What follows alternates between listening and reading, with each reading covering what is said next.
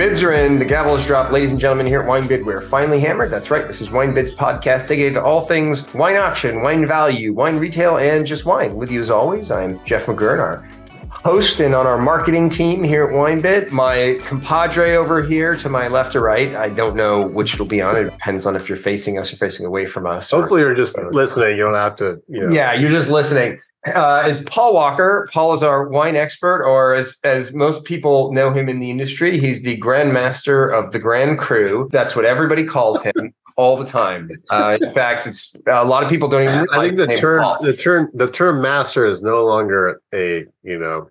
It's grandmaster, and then not a good not a good term in parlance of our times. Let's just okay. Let's move on. Okay, Paul, let's move on. so I wanna I wanna jump into this. We're gonna talk about what's coming in auction this week in the US uh in this what's in the auction. You always say what's, what's, coming in the auction. When I say coming what's, in, what's live currently. It's what's, what's new in the auction in right auction. now. You can bid on it. Auction. Well, right and I now. say that I say that because it's what's new in auction, but there's other stuff from the US in auction that rolled over from last week. This is just the stuff that went live this week. I want to jump right, right. in.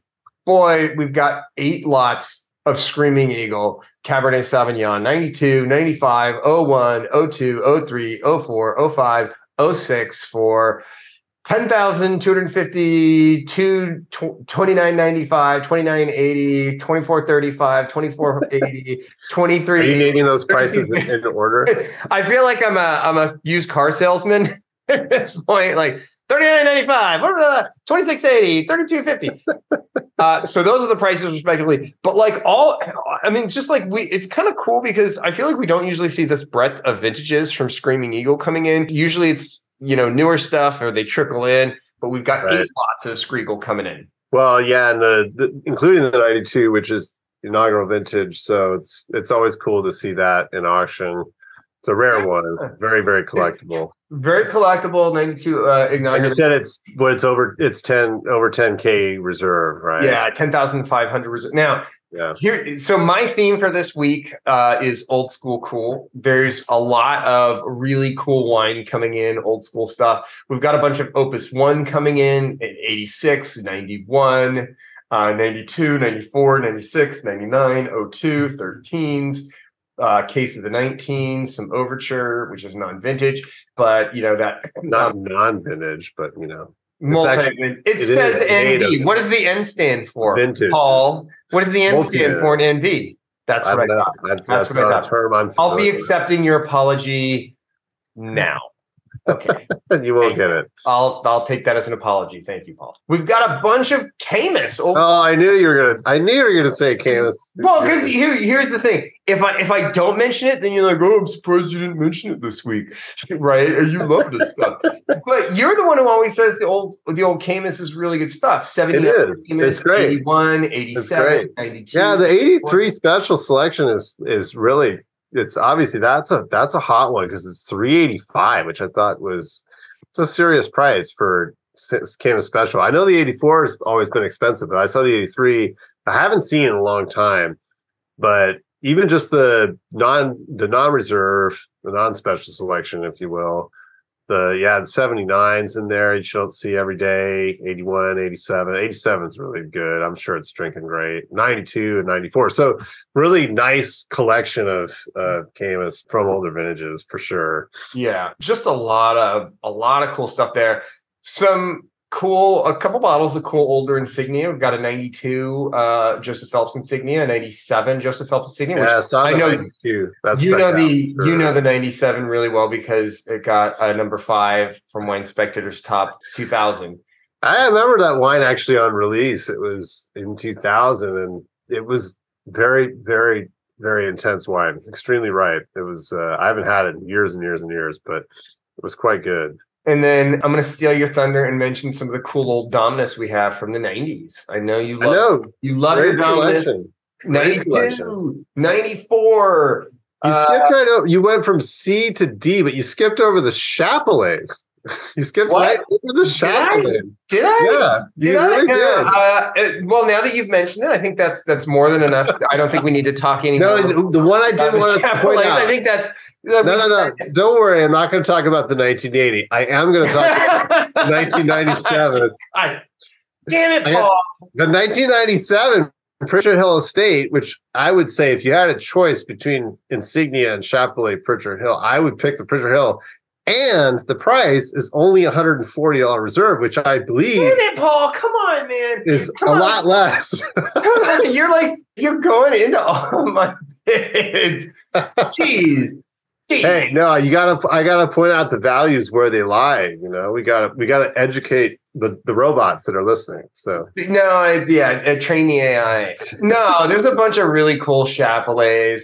Oh, I noticed some of these. We have some of these Farniente cave collections, which is uh, the stuff that they hold back and release later, which I thought was kind of interesting. I picked out the 94 for 115. I thought that was quite a few. there are quite a few from the cave collection. I thought that was interesting. Look, if you're into Dunn, this is the week for Dunn. There's like That's 32 true. lots of Dunn coming into auction from the Yeah, and, and large formats too of both the Napa and the, the Howell Mountain. So it's a, it's Yes. a you're right. There's a lot of really cool old school wine Uh, in this week for sure. Uh, another old school cool wine, 87 Montelena Estate. I thought was cool for 205. yeah, yeah, I saw that. I saw that. I was I was a little concerned yesterday actually because I noticed the Montelenas when I was looking through the selections, and then I said, "Uh oh," because they were all labeled as just sort of the normal, the the Napa Valley, the appellation cab, and I was like, "Oh boy!"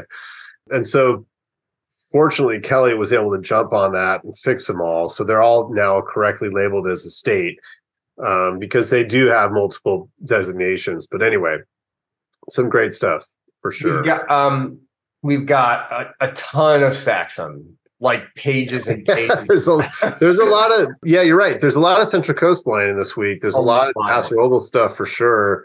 What was the other label? I I'm sorry, it's not in front of me, but James Jamesbury Vineyard. yeah, but there's another Paso Robles wine that's there's like a whole bunch. I'll, I'll look for it. And I'll I'll find it. There's oh, I had actually picked up the 2012 Chappellet Pritchard Hill, uh, which already has a bid on it from 220 to 230, just because I thought it was a good deal. Um, and I think that's a great wine. Got my eye on this Napa Valley Reserve Red from 2000. Ah, yeah, I saw that. already has a bid. That's a that's an old one. That's an old one. I didn't even know that the Reserve project, Harlan's project. Well, at the time it was Bill Harlan's project, no longer, but I didn't know it existed in 2000. So it must have been a, an early an early adopter. An early I adopter. Cool. Just cool to see it. Someone's been Yeah. like going for two hundo now.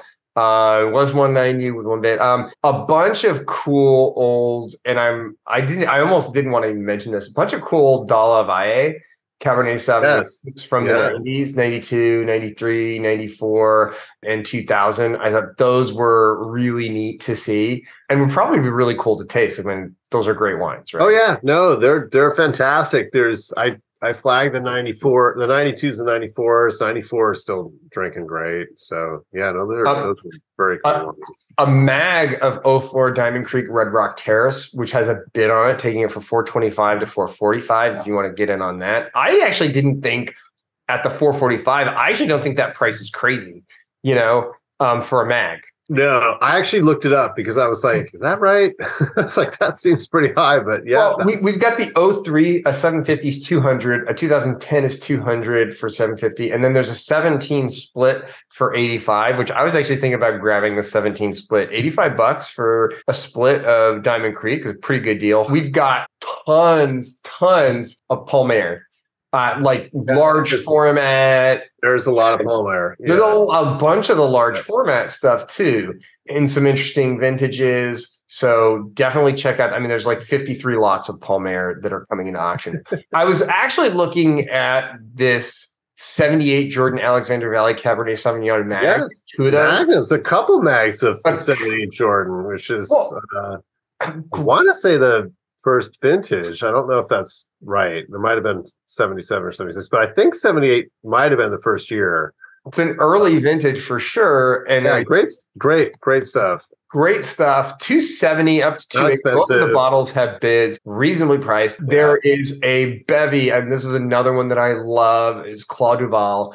There's a bevy of Clos Du Val, 26 lots coming to auction from the 80s all the way on up. Some Merlot, Cabernet, Sauvignon, uh, some reserves, uh, Stag's Leap District.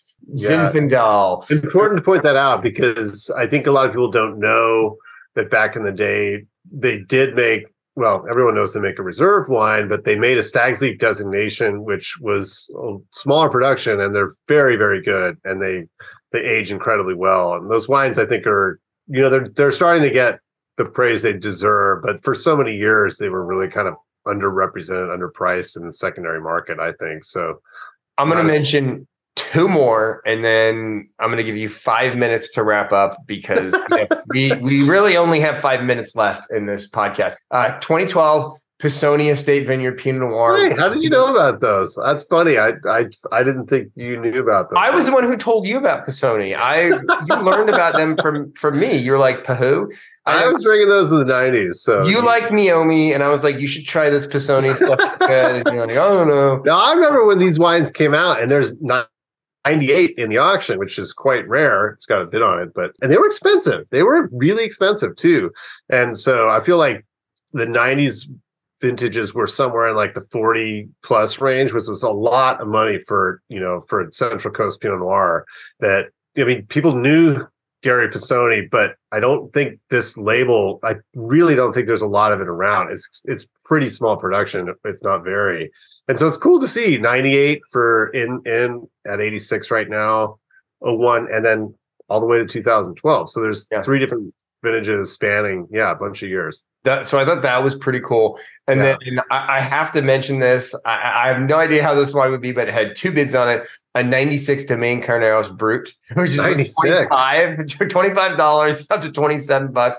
But I thought that, that was cool. It'd be Carneros. interesting to try yeah, that's a you can throw that in a champagne ringer tasting. The color looks fantastic. Actually, looks really, really good shape. It, so yeah, the shape colored really well. It's got a couple bits on it too. It's got two bits on it. I, that's yeah. what I was saying. Is like I looked at it and I was like, this actually looks like it looks fairly good shape. Really, and, really, yeah. I mean, if you look at the glass, the color, you know, it can be indi- an indicator of of its clarity, and it looks it looks fantastic. Capsule and everything looks great. All right, all right, Paul. Wow. You have three minutes, not a three minutes, more three minutes to go through your picks. I, yeah, like I timed myself. That's 60. what I just did. It took me three minutes to get through all of that.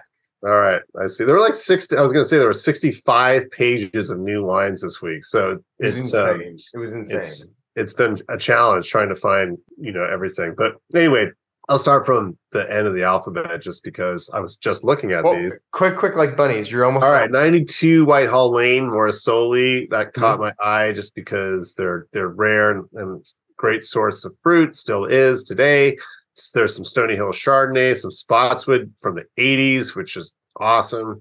Uh, some Silverado Reserve, which you don't see that often, not expensive. These wines are fantastic. There's a Mag of the 97, which you never see. A bunch of Sandlands. That's a Turley winemaker, and I'm completely spacing on his name right now. But anyway, great, great wines. There's a whole bunch of vintages from 13, 14, all the way to, I think, 17 and 18, all different varieties there, including the Chenin Blanc, which is very good. There are some paradigm cabs. I always you know tout these wines because they're really inexpensive and they're from you know fantastic source in Oakville. Heidi Barrett's um, winemaker, great stuff. And there's a few of those. They're all under a hundred bucks. Uh, there's some really wild Marcassin Chardonnay. It's um, eye popping prices for the 11, 12, and 14, but also yeah. 10, 11, 13 Pinot Noirs. Getting up there. It's getting up there. Yeah some phenomenal uh, Laurel Glen 94, 95, and 99. Just had the 95 actually a couple weeks ago. It was fantastic. It's 75 bucks. It just it's way outperforms wines uh, that are you know twice and three times expensive. And so yeah, there's some Hanzell Chardonnay and Pinot Noir, including some really old Chardonnay, but also 05 I thought was a steal for 40 and 13 Chardonnay for 35 and also 14 for 35. There's a bunch of bottles, so you probably be able to score it at the reserve. Not expensive at all, and that's really really good wine. There's some Favia Cerro Sur 19 and Oakville Cab 19. Uh, there's some second label and as well, the Chardonnay, which is very reasonable. I think it's 35 let's see 15 Eisele cab and you mentioned the Dunn. There's some actually some great old Duckhorn three palms Merlot. There's the 84 and an 80, and there's also the 91 for 50. Fantastic wine from Great Great Vineyard near Calistoga there.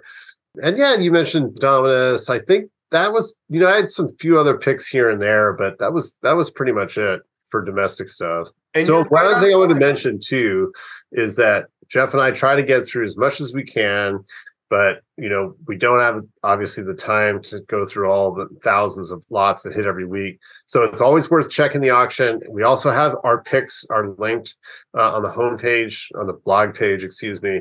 So lots of things to choose from. We'll have other things to feature as well.